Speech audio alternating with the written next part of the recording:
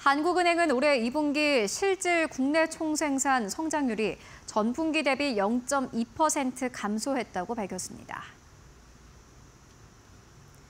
분기 기준 역성장은 2022년 4분기 이후 1년 6개월 만입니다.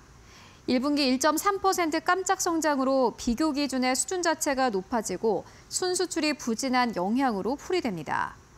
실질 GDP 세부 항목을 보면 민간 소비는 전기 대비 0.2% 감소했고 건설 투자와 설비 투자도 각각 1.7%, 1.2% 감소했습니다.